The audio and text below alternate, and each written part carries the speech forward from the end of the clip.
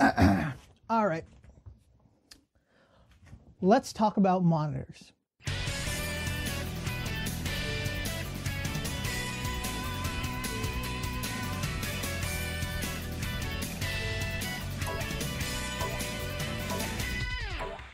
So around the year 2011, people started using monitors that were 1080p. At the beginning of the year, if you checked Steam hardware survey, 1080p wasn't what the majority of people used. And actually back then, it wasn't really a majority majority like it is now with 1080p. There were a lot of different standards. It was just the standard that was the most common. Was it like 20% or something like that? It was okay, I forgot what it was. It's this resolution. But by the end of the year, the biggest resolution user base for Steam hardware reviews was 1920 by 1080p. And nowadays, it's also still 1920 by 1080p. Since 2011 to 2024, 1920 by 1080p has been the most common used resolution, which doesn't make sense, right? For 13 years, it's been the same resolution. Like, sure, for the beginning part of that, 1920 by 1080p was, or 1080p, which I probably should just say that from now on. 1080p was the new one. Right now, 1080p is still the majority. 1440p is sort of getting more into it, but the majority of people still use 1080p. Why is that? Well, if you look at it online, a lot of people will say it's because 1080p is just good enough for most people.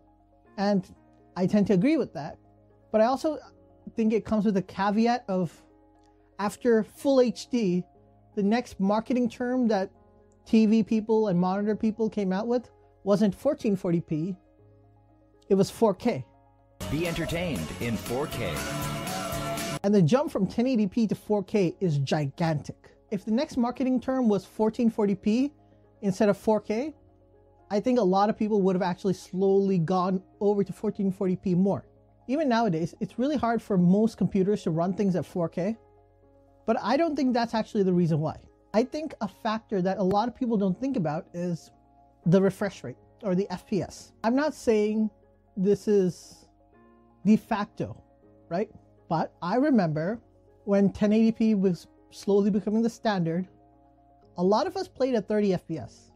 Even back then, there were already like PC enthusiasts who were making fun of the fact that consoles couldn't run at 60 FPS and their computers could. But back then, it was a lot more common to run games at 30 FPS. There were even some games that were locked at 30 FPS. Nowadays, it's much more rare for a game to come at a locked frame rate. But back then, it was still uncommon, but it wasn't super uncommon. I remember watching a TotalBiscuit video. I think it was a Need for Speed game, and he was ranting about how it was locked at 30 FPS and how if you changed it to 60 FPS, the physics would break. So, driving at 60 FPS is absolutely impossible, I might add. But back then, a part of me was like, 30 FPS is good enough. I mean, I didn't have hardware that could run stuff at 60 FPS. I ran everything at 30 FPS. I'm pretty sure some games even ran at 24, but I'm not 100% sure of that. I might, that might be like a false memory that my brain is making up. But yeah, back then, a lot of games were played in 30 FPS.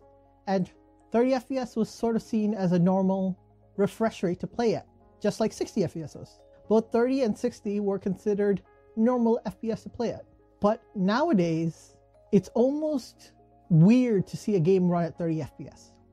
See, I don't know if I just became an like an enthusiast or an elitist or whatever, but usually when you're playing games nowadays, you expect to lock it at 60 instead of 30. It's a lot more common to lower down like your resolution or the graphics level just to hit 60 FPS. Instead of having the highest quality but running it at 30, a lot of people would rather have a lower quality of visuals to have a higher frame rate. And 60 is now considered the baseline.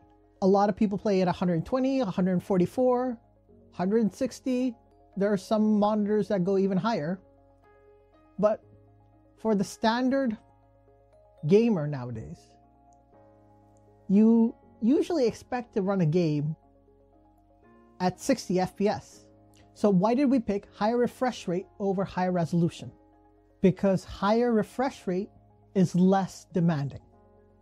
I think a lot of people don't understand that it's actually less data to double the FPS. And what I mean by that is going from 30 to 60 is a times 2 multiplier.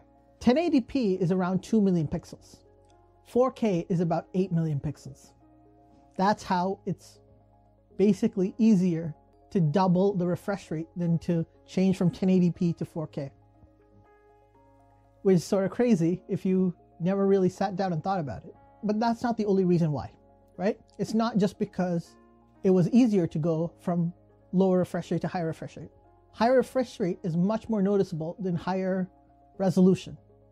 Can you notice a 4K monitor? Yes, a 4K monitor will look prettier and a game running at 4K will look nicer. A game running at 60 FPS compared to 30 feels better. And if you run it even higher than 60, it still feels better.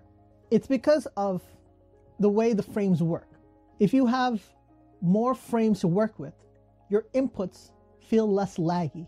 So there's less of a delay between you putting an input in and the input showing on the screen because it's not just 30 times a second that the input will register, it's 60 times a second that the input would register and you can sort of see it. Now, you might not actually be able to see super high refresh rates, right? A lot of people say they can't see the difference, but you can feel it because as much as we like to think that we're fully conscious and everything, a lot of our brain, especially movement and stuff, goes to the back half and it can calculate that stuff way faster than we can actually think about how things are moving. See, I think that's part of the reason why for gaming and stuff, 1080p and 1440p are seen as the standard still. But if you're watching a movie and you have a 4K screen, you're probably going to watch it at 4K. Because if you don't have to put inputs in, like 4K just fundamentally looks better. So, as long as GPUs don't get some sort of new fantastical technology that can pump up our resolution whilst not lowering our FPS, which I think a lot of companies are trying to do with like AI and stuff and upscaling. I think a lot of us are going to still run 1080p pretty far into the future.